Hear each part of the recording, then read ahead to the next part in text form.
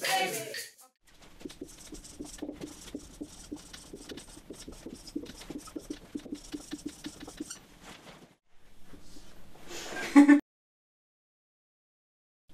There are different ways to represent data that can be more concise and easier to interpret than our intuitive description as function of time.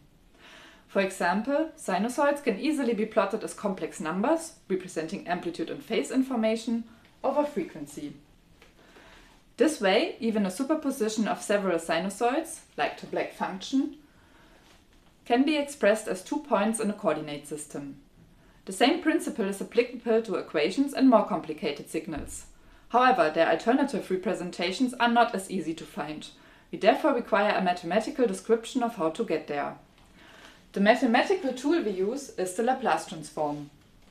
Applied to our input or output signal, it transforms them from a function of time to a complex valued function of the complex number s. It is difficult to visualize and frequently difficult to calculate. So here it's even empty. Fortunately, in most cases, we are not interested in calculating the output from the input, but merely in the relation between output and input. For example, we may apply a current perturbation to an electrochemical interface and measure the voltage response. So we would like to analyze their relation because the interfacial behavior mediates this relation. If we want to compare the interface to an electrical circuit, we can mathematically describe the circuit to see if the voltage current relation of it matches. In the time domain, even the relation between current and voltage of a capacitor is not straightforward because it is a differential equation. Once further elements get involved, the input-output relation becomes extremely cumbersome to determine and draw conclusions from. Laplace transforming this differential equation takes it into the S domain, where it is no longer a differential equation. We call Laplace transformed input-output relations transfer functions. Impedance, as relation of voltage output and current input, is a transfer function, which we can analyze to investigate an electrochemical system. It takes the form of 1 over SC. If we want to know how our system responds when excited by sinusoidal functions without any exponential components, as we assume in EIS, we can evaluate a transfer function as a function of frequency only for S is imaginary unit j times angular frequency omega. Without having transformed the actual voltage and current signals, we can, for example, learn that higher frequencies will lead to a lower impedance of the capacitor and consequently a higher current flowing for voltage of the same amplitude. We can now measure the input-output relation of an electrochemical system, transform it, and match this transfer function to an equivalent electrical circuit.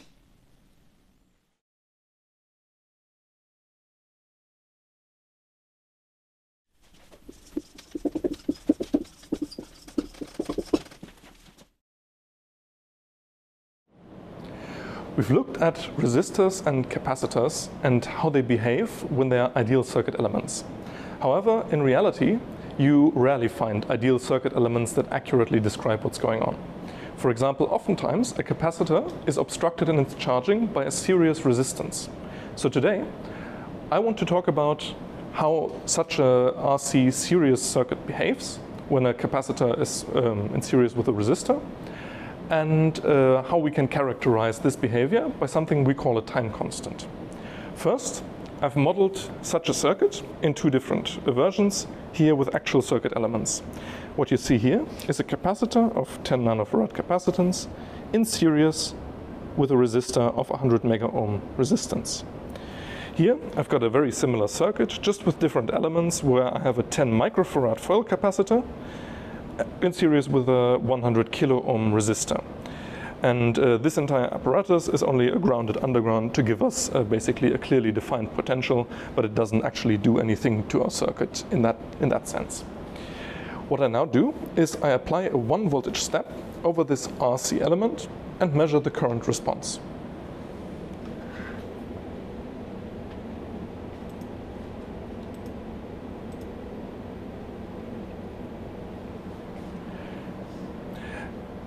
What we have discussed before is the ideal behavior of a capacitor, where we would have expected an infinite current spike that immediately goes back to zero after time uh, goes by.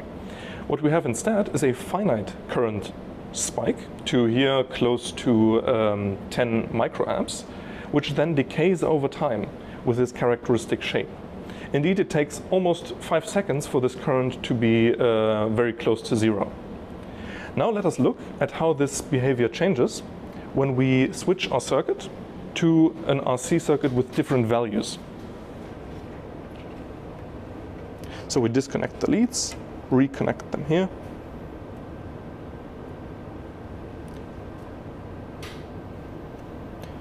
And we will now apply again a 1 volt step.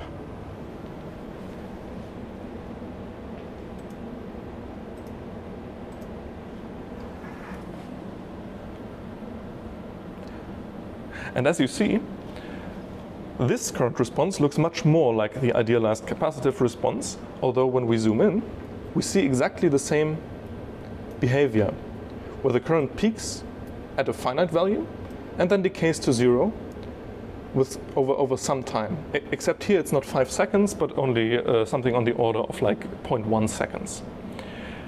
So what we have is qualitatively the same behavior that just takes different amounts of time.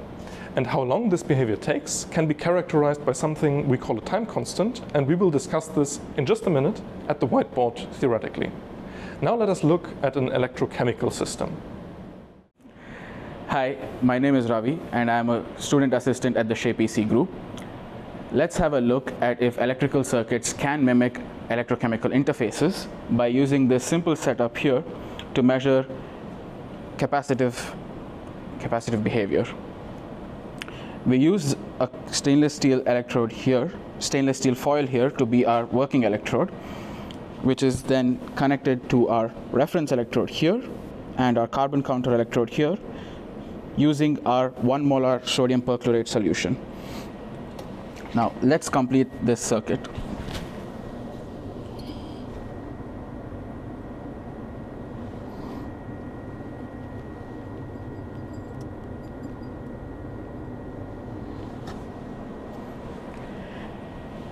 These wires here then connect to our potentiostat, which is which is there, which is controlled by this computer here using this interface. Now let's see if we can actually observe the double layer charging. Here we can see that the OCP or the open circuit potential is right now at minus 65 millivolts with respect to the mercury sulfate reference electrode used. And now I will apply a step potential of 100 millivolts with respect to the reference electrode.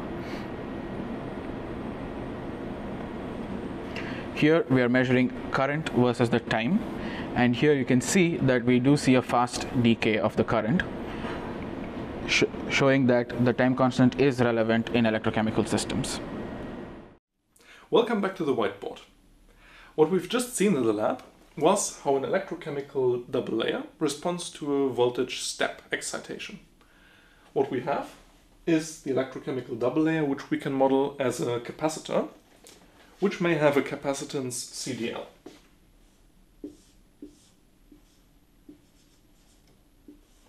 However, this capacitor cannot be uh, charged infinitely fast because the charges, the ions that have to move into the electrochemical double layer, um, are limited um, by the electrolyte conductivity. And this electrolyte conductivity between this here can be modeled by an ohmic resistor. And we may call this the resistor with the resistivity R or uh, resistance R L for R electrolyte. And to this system, the potentiostat, which I will model as an ideal source, applies a voltage step US. Now, if you recall, these circuit elements, we've discussed their responses to step excitations on their own. So a brief, a brief recap to this. If we apply such a potential step to a resistor,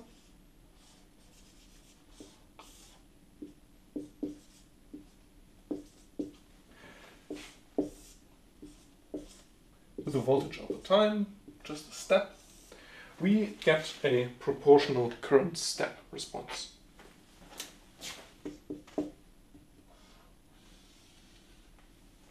If we apply this same voltage step to a capacitor, here we have the resistor.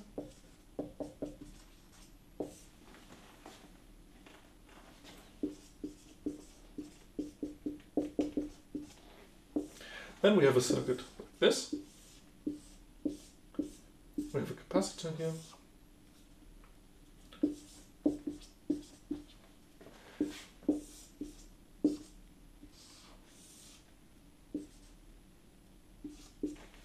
And the current response is an infinitely large current spike that transfers all the charges necessary to charge the capacitor onto the capacitor. Imagine this infinitely high. And then uh, after the initial charging, no current flows. However, now what we have is not one of these elements alone, but a serious um, connection between them.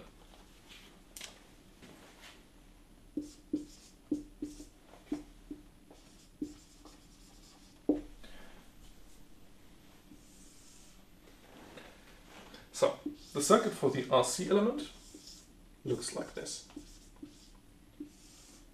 The potentiostat, or more generally a voltage source, applies a voltage over the resistor and the capacitor, and there are voltages falling off over each of them, while the same current flows through both.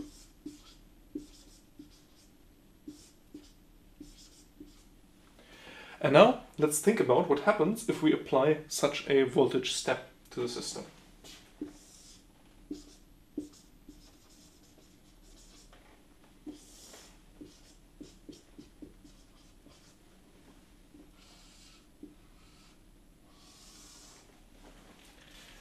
Now what happens? This voltage step ends up somewhere. And the best way you can think about this circuit is this voltage falling off over the resistor, but the voltage that ends up here is reduced by the voltage of the capacitor. What this means in practice is when you begin to apply this voltage step, this capacitor is not charged and it can't immediately um, change the voltage that falls off over here because, well, you have to first bring the charges there. So at the initial moment when you apply the voltage step, all of the source voltage ends up with a resistor. And this means it basically um, acts as if we had a step of the uh, current that was equal to our case here for the resistor.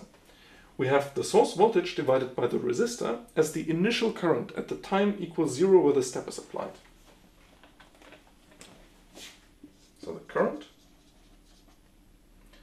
let's say it's here, and it's US divided by R. But unlike with only the resistor, this current doesn't stay here.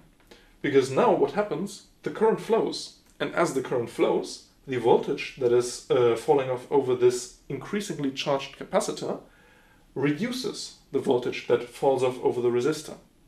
And increasingly more and more voltage falls off here over the capacitor until in the final stages, the entire source voltage is applied to the capacitor.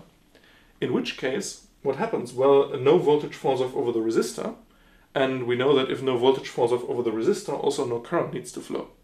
So in the end, after uh, a lot of time, the current goes to zero. And the behavior like this is so, of course, a falling current. As the capacitor gets charged, the current that charges the capacitor decreases because the voltage that drives this current also decreases. So we have this qualitative behavior where the current falls off over some period of time. And some period of time is um, a good keyword because, well, uh, how fast does this current fall off? And this is an interesting question. We can calculate this using the Laplace transform. Um, the general strategy for this would be in the S domain.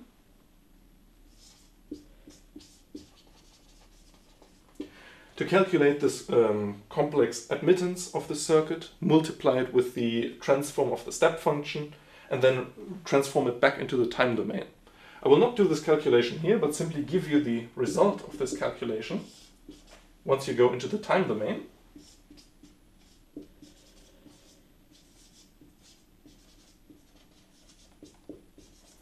And I will write the result of this uh, transform into the time domain of this current response over here for the sake of space. So the current that you have there in this circuit flowing is here, I, and this current I for the RC series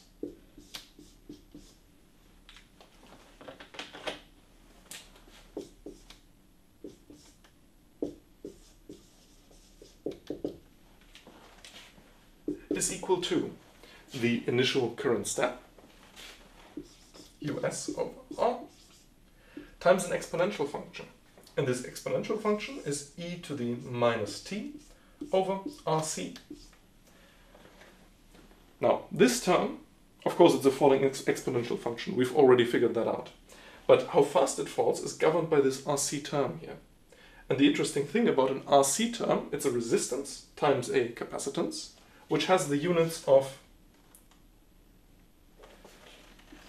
volt over amps times farad, which is ampere seconds over volt. This crosses out and it's got a time dimension. So what we have is the running time is set in relation to some time constant here. And this is why we call this RC the time constant, because it governs how fast this exponential function falls. This.